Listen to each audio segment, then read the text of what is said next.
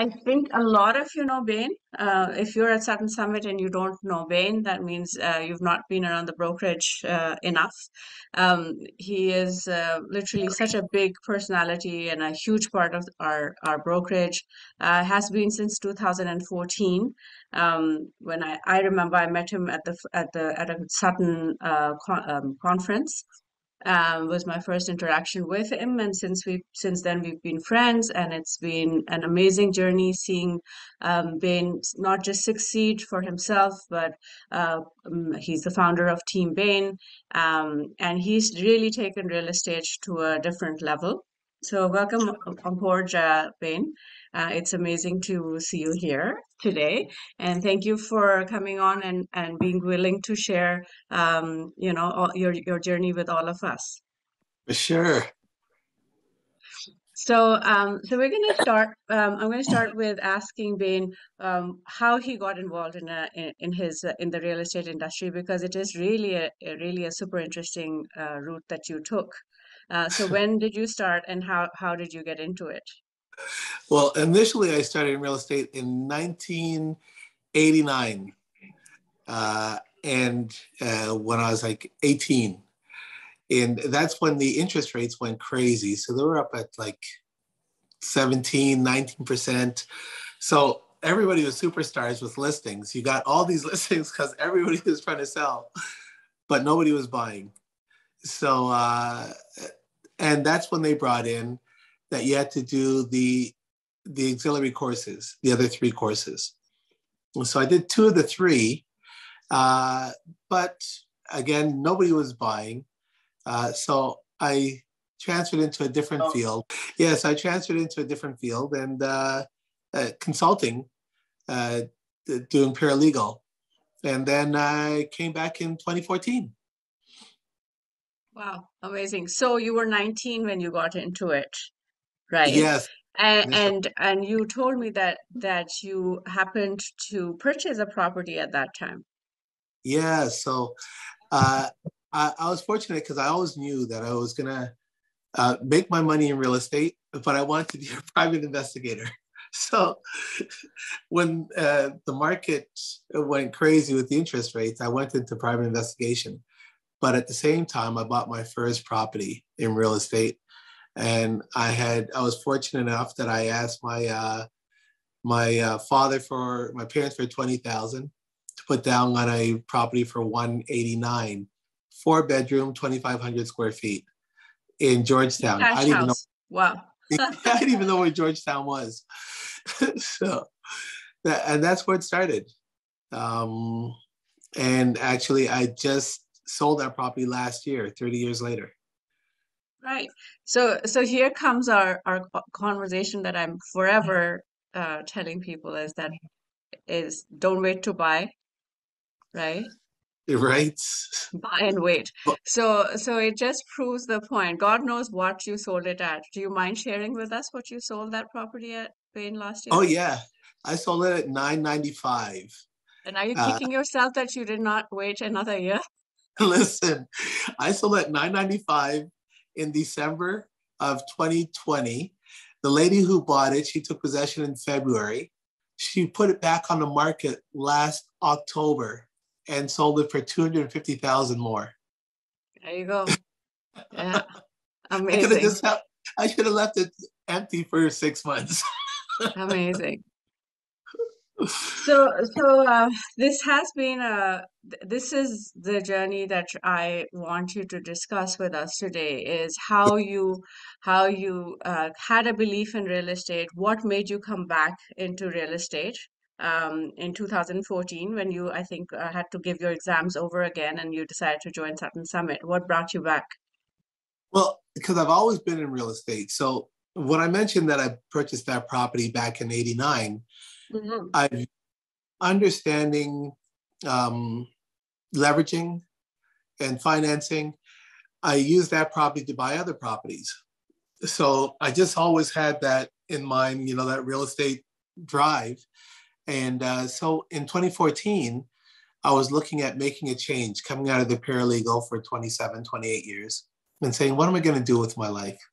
so I had these other businesses that were doing well.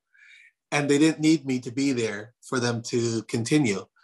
So I said, you know what? I'll get back into real estate, make a few dollars, and, and use that money to travel.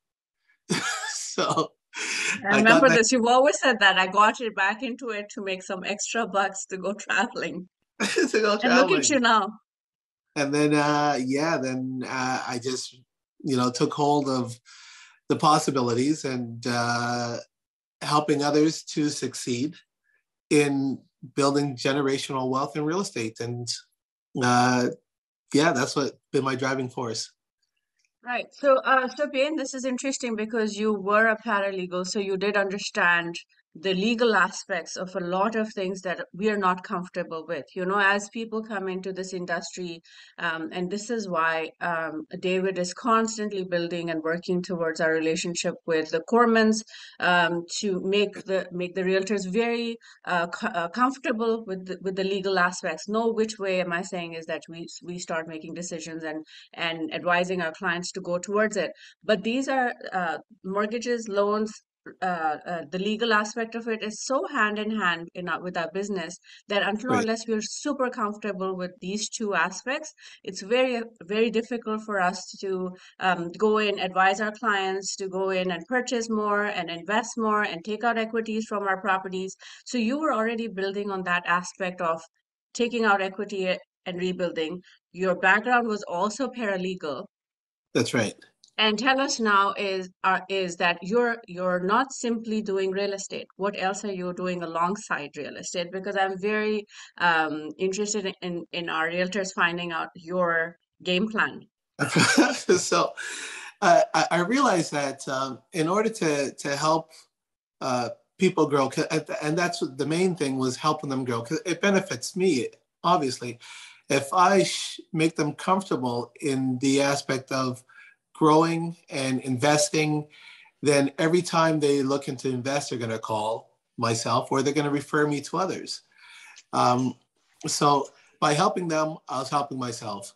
So one of the things that we looked at is we said, okay, well, a lot of people that are, are looking to purchase a property uh, might not have the full 20% or 10% that's asked for by the bank, but they qualify based on their their um, credit scores. So what we started to do was I started to uh, I opened up another company that does lending.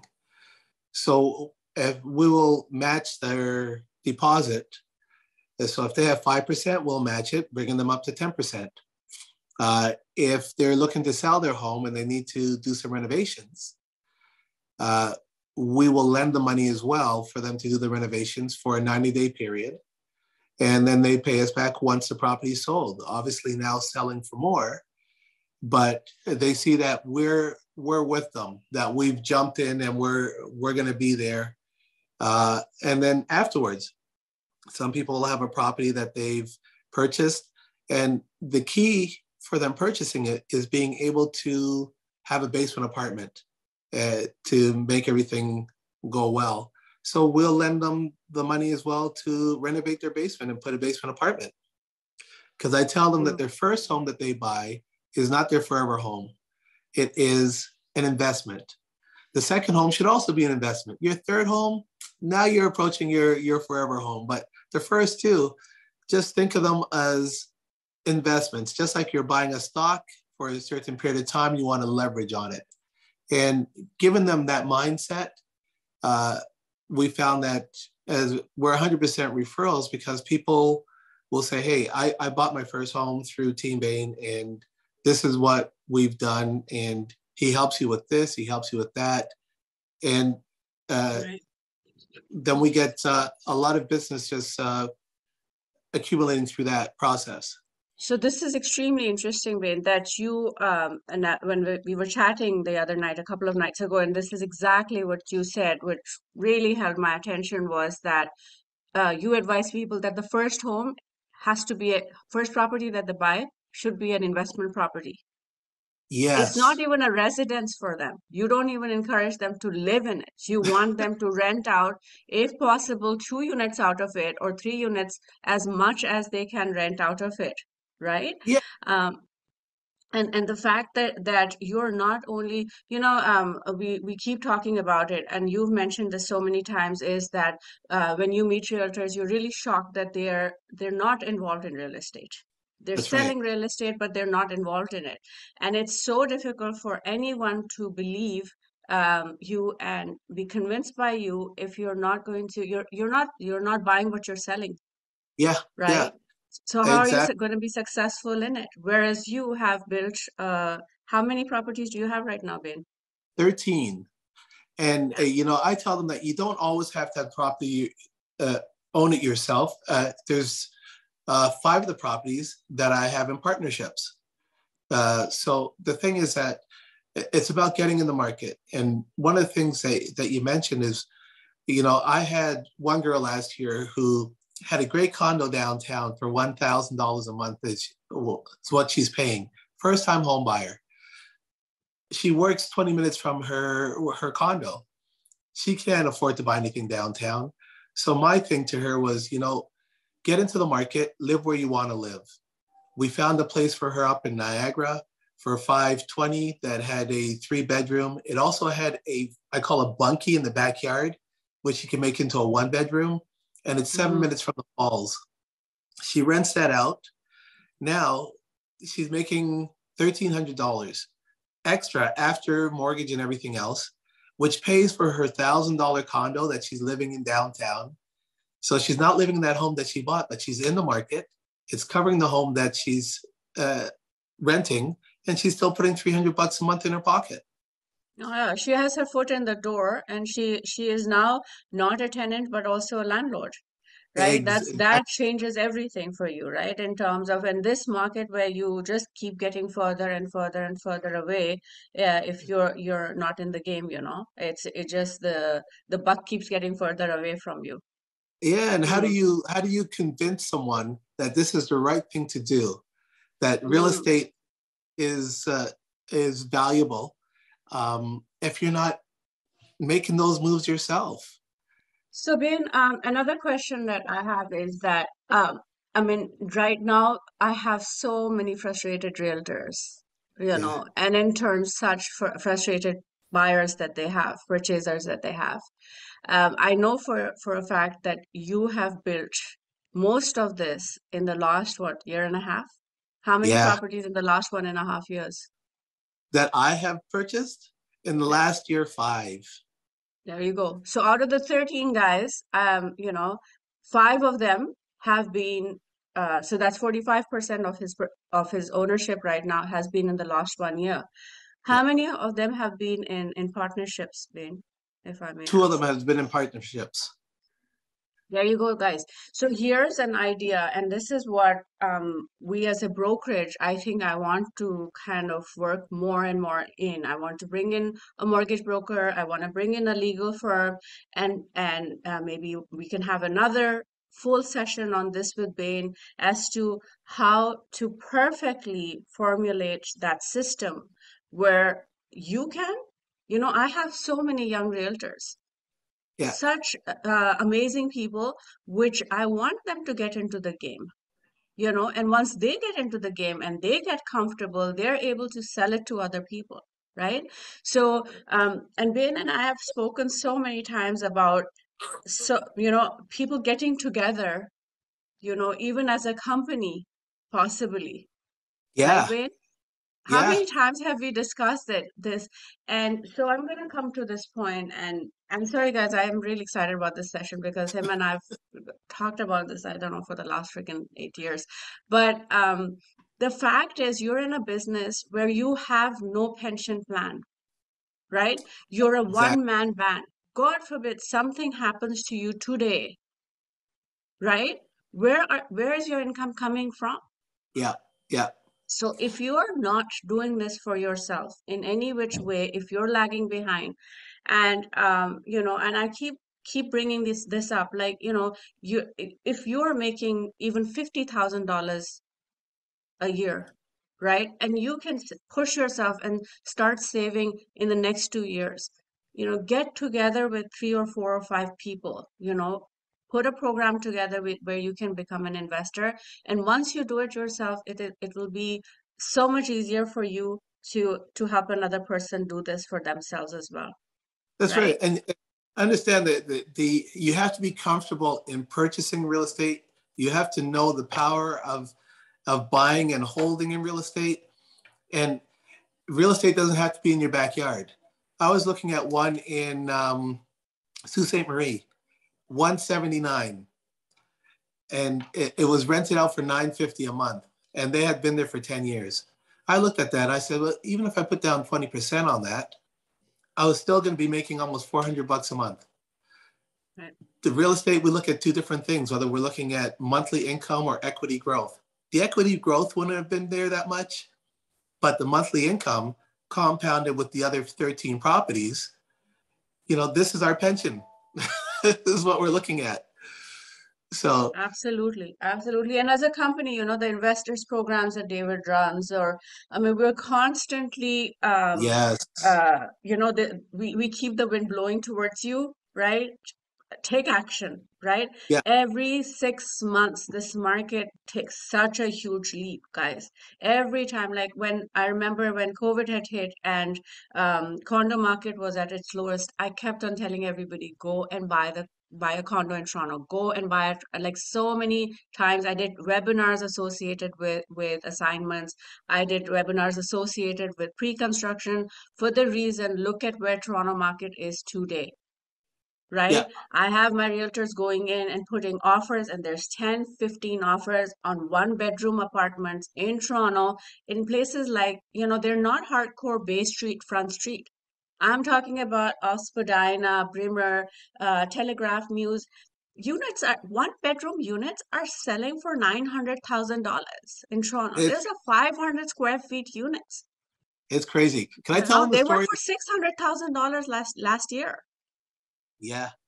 Can I tell them the story of, of Damien? Go for it. Yes, absolutely. so Damien's one of the one of my team members, and he started last year and uh, Damien, uh, right off the bat, bought a three bedroom with a three bedroom basement apartment for 647 in Brampton. And that was last year. He bought that, I believe it was last March. In less than a year, he refinanced it. He had put down 120. Less than a year, he refinanced it, took out 110, and then purchased another place in uh, St. Catharines. Here's the thing. He was getting 2,500 for the upstairs apartment and 2,300 for the downstairs apartment. After he refinanced it, he's still making $2,100 a month. Owns the property, was able to buy another property and still making $2,100 a month clear. That's after mortgages. And uh, now he's doing it again. And me and Damien just bought another one in December in Welland. So it's uh, you know, getting into the market, being in the market, looking at the different ways so that you can advise your clients accordingly because you've done it. And guys, remember, you guys have licenses, right? You guys don't wait for other people to come to you and buy it. I hear this so many times is that I made my clients make so much money. I don't know why I didn't do it for myself yes. right do it now. Do it today. Exactly how we tell tell people take out equity start purchasing. Don't don't uh don't sit back and wait for your clients to come into the game for you. Right? Don't look at the six figures that you're trying to make in, in commission splits. Get into the game yourself. Yeah. Yeah. That right? the one that we that we bought in uh welland me and damien we put a clause on it that we could uh we could add or minus a name. So if we decided, because it's supposed to close February 14th, that we have the opportunity to flip it, we can put somebody else's name on it and have them close. Right. So. And um, Bain, I want to bring this up. So, I mean, I know you start, you really technically started being a realtor in 2014. I know you were right. in the market already, but the confidence that you came in with right? I remember you in 2014. In know which way were you a nervous realtor, worried about where the business is going to come from. You had that, you still had that swagger, you still had that comfort zone. Your two feet were well, feet were well grounded on, on the for the fact that you came into a business which you believed in. Yeah. Right? You never questioned the industry. You never in questioned the product you were selling. Right? No. And and we have to make sure that that we understand that aspect of it. You are in a service, you're a service-based industry, right? Um, you, as a realtor, you're not selling product, you're selling a service. And until unless you understand it well enough, right? And so now, Bain, I'm gonna I want to touch uh, on the fact that you're doing mortgages in some which Yeah. way. You're doing some sort of lending for your clients. Yep. So you also become so, sort of a partner with your clients, right? Yes. You come into my house, my house in shambles. You say, I'm going to give you $10,000 to fix it up so that you get the maximum amount of money. I buy another property. You give me another loan to put a second unit in it so that I can live in it. So the trust that you put in your clients, the trust that you have in this industry, right? It's a different kind of a human because you're putting yourself out there, right? For your Uh, clients in a daily basis. This is it. You work with honesty, you work with integrity, and you work with, with you know, with your chest wide open, like here I am to help you out, and you find success. I'll tell you a funny story. The, the first couple ones I went to when I first started, I'd come home and my wife would say, uh, How'd it go? And I'd say, uh, I didn't list it. Well, what happened? I'm like, No, it wasn't right. I told him not to sell. What? You told him not to sell? my reason for that is I remember one particularly, she would wanted to sell because she felt the house was too big for her. She was going through divorce. And I said, if you had a basement apartment, could you afford to stay? And she said, yeah. So we went down, we looked at the basement. I said, if I lent you 50,000 to do the basement, and if I rented it for you for 1300 bucks a month, could you stay here? And she said, yeah. And I said, okay, I'll lend you the money. After one year, refinance, pay me back. She's still in that home today. That was in 2014, 2015. Uh, she's bought two other homes from me. And uh, yeah, and she's referred many people to me. But I told her not to sell. I was in one the other day. Same thing, same situation. They asked me, uh, they wanted to sell, uh, going through a divorce. And it was a four bedroom with a legal two bedroom basement apartment that wasn't rented. I said, and it was just her and her daughter. Said, well, if anything, you live downstairs, rent out upstairs, take the equity out to buy another property. I put her in touch with my mortgage broker, and that's exactly what she's doing. Uh, so I always look at it, I approach it from what would I do? Real estate is a valuable commodity. Um, you know, I had a, my best year ever last year, and I think I had two listings. The rest were investors. Take equity out, invest. Take equity out, invest. Uh, so, you know, a lot of us are driven by the sales. We got to sell them, got to sell them, got to sell them. I look at it, what would I do? And if I could get them to keep their home and take equity out and buy investment properties, it, just grows. Because from there, I've just had people calling me saying, hey, so and so told me to give you a call. I have some money. What do I do with it? And I, yesterday, I had three of those calls. So, yeah, because you become part of the success story for people, right? And you have shown them an avenue um, how how to, right? And as realtors, if we don't know ourselves how to, how are we going to ever show the path to everybody? I know years ago, um, you also had a few handymen that worked with you, that's right. remember? They were tradespeople, and you, I remember you were, you know, dealing with them and training them and and putting your time and efforts. They weren't may possibly the best of the, you know, not the most shining stars, but I remember, but you made the the most of it. So this this is guys where it is, right? Like find an avenue in real estate. Don't don't look around anywhere else. There's so much to be done here. There is. Uh, you don't have to be Bain, where you're also doing mortgages and you're also doing renovations and you're also doing, you know, multi-flipping. And uh, I mean, I know him and his team are sometimes going in and painting walls and like Yes. I've heard all of these stories, right? So, I mean, the, you do what what is best, but I don't waste your time doing other things, you know, focus on real estate. You have gotten your license, believe in the industry. This has been the hardest year for buyers. And look at him, you had two listings, and all the rest are, are, are buyers. He's been able to to be successful. Right?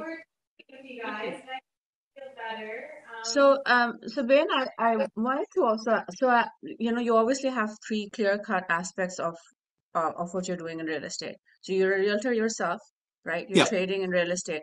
You're an right. investor.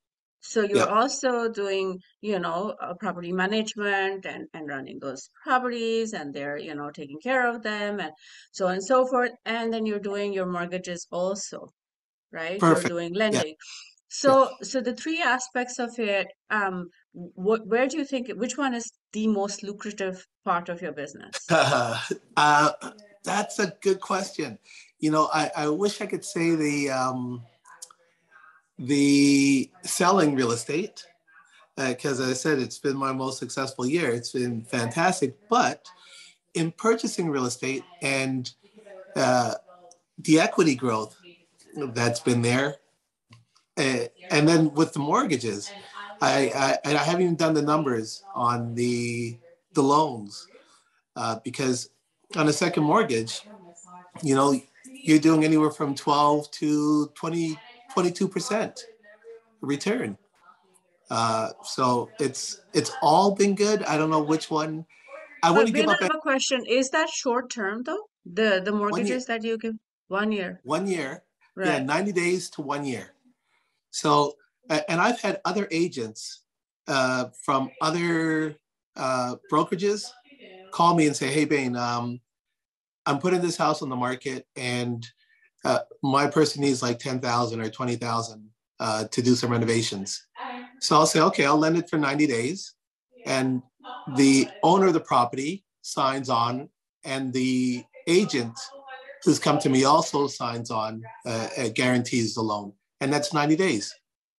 So, and you know, something like that, that's where you do like twenty-two percent in ninety Right, days. right, right, right. So it's it's all been it's all been uh but the, the thing the main thing about it is I've I'm I'm in real estate, like completely in real estate. Immersed. Yeah, you're immersed Yeah. in it. Absolutely. You believe it and you're you're gung-ho about it. Absolutely. yeah. Yeah. Um, t tell us about your your your team. How how did that come about and and where do you see there's there's value for for a realtor to join a team or for uh, for a realtor to become a team leader? Um, put some yeah. light on that aspect of your of your business.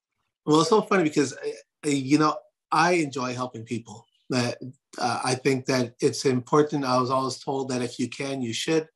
If you can help, you should help. Uh, I think that when everybody's successful uh, in your circle, it just makes your circle better. If you're the only one that's successful, it's it's depressing because I want to go to dinner with you and you say I can't afford it today. But if I can make everybody successful around me, that's not, that doesn't become an issue.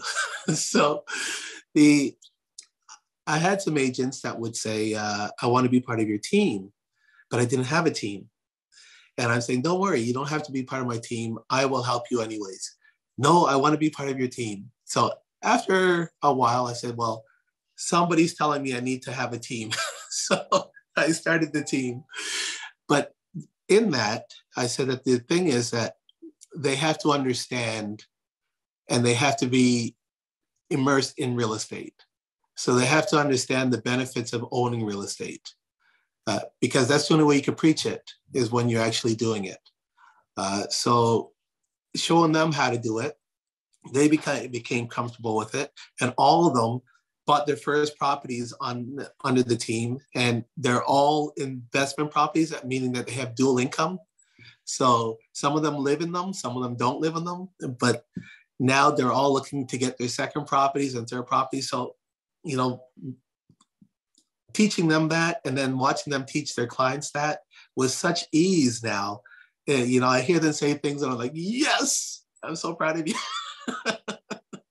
It's amazing. Yeah, it's amazing and inspiring in, in so many which ways. Yeah. Ba- Bain, I want to join your team.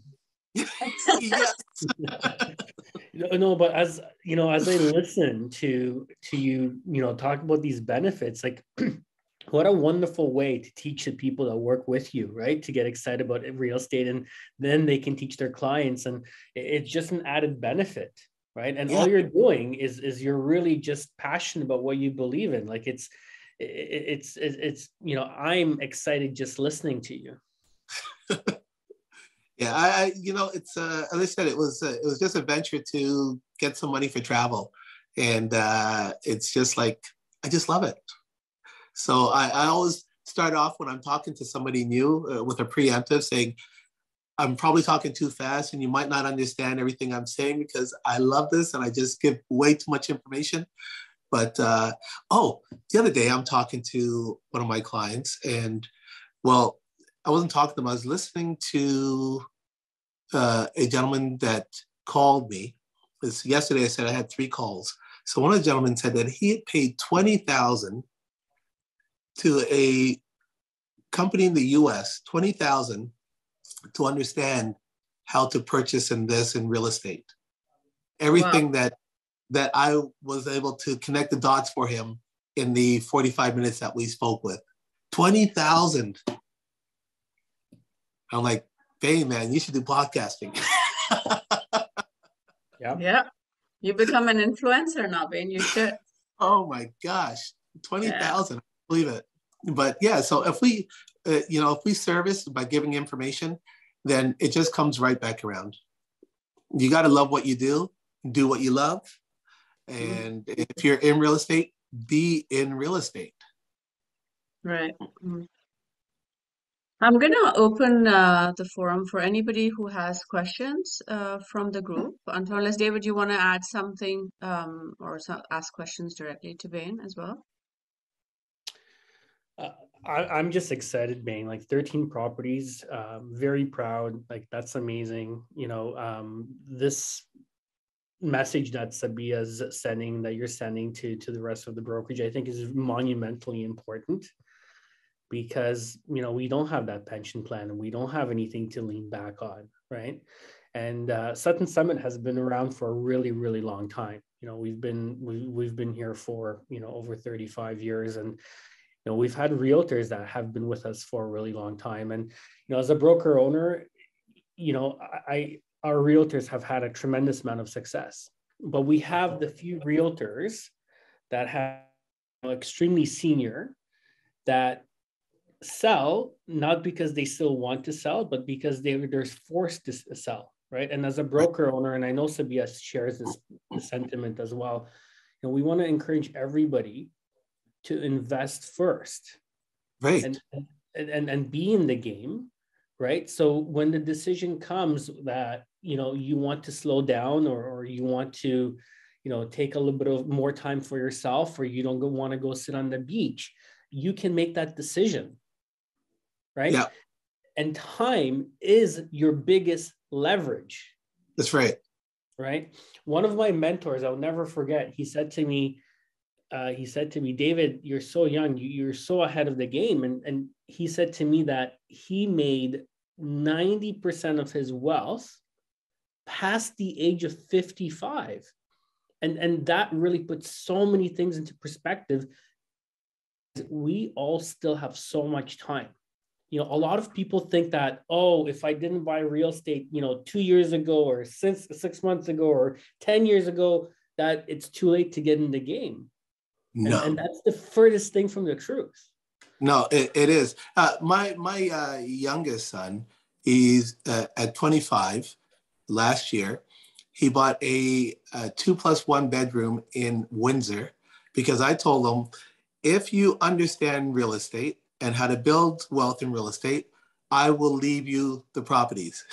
If you don't, I'll leave you a hundred thousand. Go have fun. so the Man, what last, about the rest of them? That's not the only child you have. No, no, that's not the only one. I'll, I'll tell you the rest. Okay, so the oldest one, uh, it, it, was so funny because he could not. Uh, he's thirty. He could not uh, save. Just couldn't save. So I said one day, I saw these properties in Brantford, property in Brantford, and I said, hey, Jordan, uh, they're asking for 30,000 down. I said, I'll put down 15 and you give me 1250 a month uh, and that will be your 15. And he says, Dad, what if I gave you 2,500 a month uh, for one year? Would that house be mine? And I said, yeah. I mean, this is a guy that couldn't give me 500 a month. Now he wants to give me 2,500. And he did. For one year, he gave me 2,500. Then the, when that property came up to close, they were extending it. So they said, do you want your money back or uh, do you want to stay in the extension? So at the same time, there was he wanted to be downtown Toronto. The property came up in Liberty Market. So he took the 30,000, put it down in the Liberty Market. And in that one year, he had to put down almost 90,000. And he worked hard and he did that. This real estate motivated him. Before that, he couldn't, he never had any money. Uh, then the, the second one, he got a place up in in Windsor for 360, uh, two plus one bedroom. And then he said he's going to renovate it. And he went up every weekend and did his renovations. And then he said he's going to sell it. And I said, don't sell it. I said, rent it out, then refinance it, and then buy something else. So that's what he's doing. Now I'm looking for something for my daughter, uh, something in uh, Windsor or someplace like that that's close to university, where at the end of it, she'll make about 1300 bucks a month clear in her pocket and she's in the market. So uh, it's just power real estate. But it's something that David mentioned. It'd be great if we had a Sutton investment group. So where we buy blocks of properties that are uh, from the the uh, the builder, and then at that time we could you know, sell them. Absolutely. That would be super exciting. Yeah. I, I really think we should work on that. Yeah. Yeah. And, and you know, what got me, uh, drove me more with the mortgages is a gentleman I had helped uh, about 17 years ago as a, a paralegal. He had uh, injured his finger, and I got him his benefits. He was working in the back of a factory building uh, cupboards. I ran into him again about five years ago. And at this point, he had 15 properties and he had lent out over $2 million in mortgages at an average of 17%. So on the 2 million in mortgages, he was bringing in 350 something thousand dollars a year just on the mortgage lending and he had 15 properties. And I thought, and that's why I say the majority of mine kicked in the last year and a half. Because I looked at him, I thought, when I met him, he had one home. He was working in a factory. And now he has 15 properties. And last year, he told me he lent out 4.7 million. So he's doing about 700 and something thousand a year just on interest. I don't know, guys, if you're not inspired and motivated after this session, uh, I don't know what would. I, I want to go buy something right now. So um, this has truly been amazing. If there's any questions, I'll give another five minutes uh, open forum to people. Otherwise, um, this session, I know some of you uh, joined fairly later in the session. We will have a YouTube link made very quickly and I'll send it out in email. Otherwise, you can always go on to our YouTube channel or our website. We add uh, uh suttonsummit.ca. Uh, we add all of this uh, content there. Um, yeah, for sure. Uh, if I can so, say one other thing. So sorry, Tina is asking yeah. us to do um, a session on benefits of refinancing. Absolutely, guys. Just on this note, uh, for you to know, um, David and I have been able to put together a partnership with a mortgage broker. Uh, we will be bringing the so he has uh, four underwriters working with him. Um, he's an amazing guy. Um, I've I know him quite well, and he was worked with uh, quite a few of our realtors long, long term uh, over the last uh, 10, 15 15 years. Um, so we made, made this uh, connection with him. So so we will be doing uh, multiple sessions on on all of this. Um, I'm I'm very much sold on this concept myself. Um, I know David is, I know the rest of the team is, and we can, of course, keep uh, plugging on Bain's uh, uh, mind for great ideas as well. Um, I would like to do another session with Bain just just on on the on the um, on how how to go into investments with multi owners. I want to do a few sessions following up with the mortgage broker, the lawyer, and then maybe Bain again. So absolutely. Excellent. All right, guys. Yes, excellent. Thank you, Bain. You're welcome. Bain, I have one question before we go. Sure. If if a realtor is thinking about buying their first investment property, Yeah. what advice would you give them? Their first not investment property, not their residential home. Right, like like let's say, I mean we have a lot of realtors that are probably you know listening Yeah. in and then Yeah. they're you know they they probably feel inspired, right? So now that they feel inspired, what are the first steps? What Well, advice would you give them? Uh, here's here's one thing that the the misconceptions that a lot of people have is they look at buying an investment property as an expense, and if you do it properly, it's a benefit. So when I explain to someone that you could take leveraged money out of your home, is so take out 120, 130,000, which is going to make your mortgage go up, obviously, because you've taken more money out. And then you take that money, put it down on maybe a $600,000 property, uh, but now you have two mortgages. But because the property is an investment property and it's generating great income, after you pay the mortgage over there and on the second property, investment property, after you pay the mortgage, maybe you have $800 left. You've taken out 120 on your home, which maybe your mortgage went up by three, four, 500, let's say.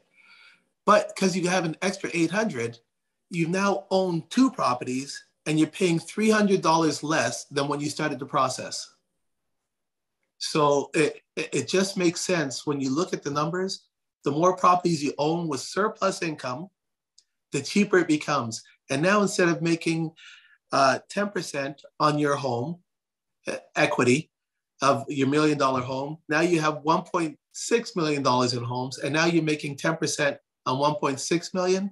You're making 160,000 dollars a year in equity, as opposed to the 100,000 by just owning your own property. It just makes sense to to use that and, and leverage. Just makes sense.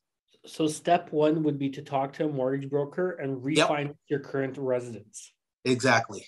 Now, now, second part of my question: What type of property they buy? Where do they look? What do they buy? Like, It depends on their comfort zone. Going back to, uh, I think one of the, is it gourd lemon that you, the, going Yes. back, it depends on the comfort zone because some people uh, might not be comfortable with a student rental, but they might be comfortable with a duplex, a residential home that has a basement apartment. right? and uh, you know so it depends on their comfort zone. And a lot of people think that i want that property right next to me if there's problems. It doesn't need to be next to you. Get a management company. Just make sure that the dollars make sense. It could be in st catharines in windsor. Uh, it's about getting that surplus getting in the market and growing on there. The longer you take to get in the market the further the market gets away from you and leverage because some people say i want to save up that money i need to save up 100000 by the time you save up 100000 that property you're going to buy is now four 600000 further away equity equity equity Yeah, um, I would like to add to that, guys. You know, aff affordability is the big thing, right? Once you take out, if you once you figure out what you can take out of uh, your your own properties, the equity that you can take out, just go ahead and purchase it. I remember I bought something in Brampton a few years ago, and it took a took a while for it to pick up, right? But I that's what I could afford, and it was in really good condition. It was a semi-detached in Mount Pleasant, right? I picked it up for $550,000. Okay, at that time when I bought it, um, I think it was 2016, it wasn't nothing for me, right? It was something for me. And, and I was like, oh, I'm doing it in, in Brampton and I'm doing it in Mount Pleasant, which was at that time there was not much there, right? One less and and and um, but trust me, that property has gone up in its value. Properties do You know, this. And I didn't have a day that it wasn't rented. I've had great uh, tenants in there. Um, they've only made the place nicer as they've lived in it, and you know, I've had no problems whatsoever.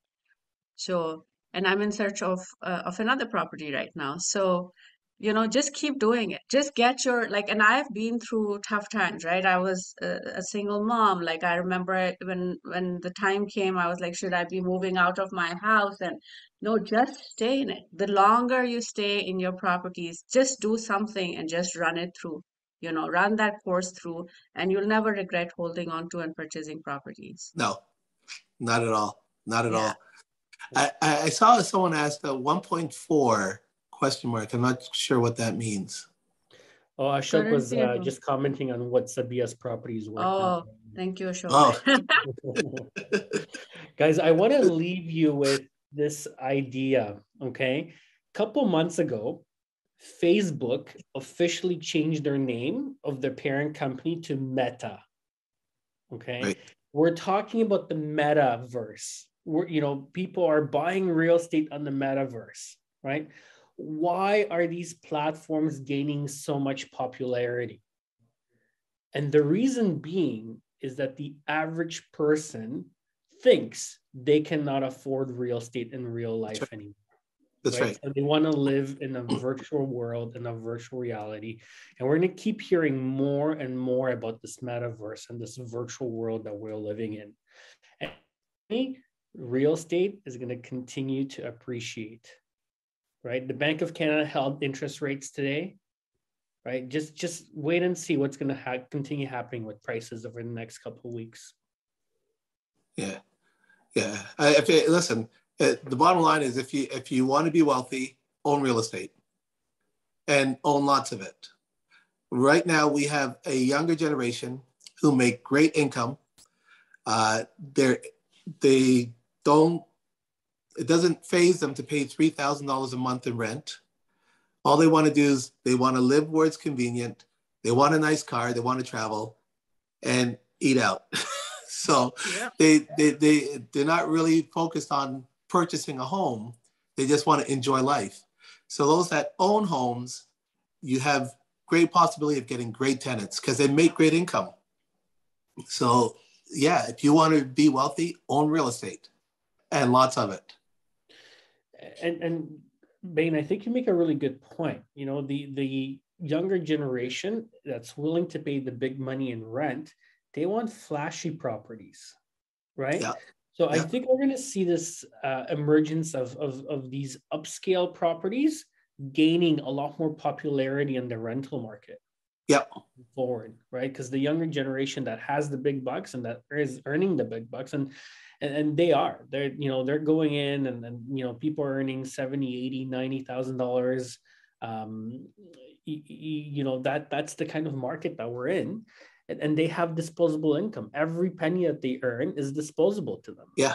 yeah yeah I, I, I had two ladies contact me the other day looking for a rental, and they told me that they're looking for a four bedroom and they could do five thousand. And I'm like, what? you need to buy a house, five thousand on rent. so yeah, that's gonna be a conversion. yeah. So, but it was great uh, having this opportunity. Amazing, guys. Thank you so much for for coming on board. All right. Bye bye. Bye bye.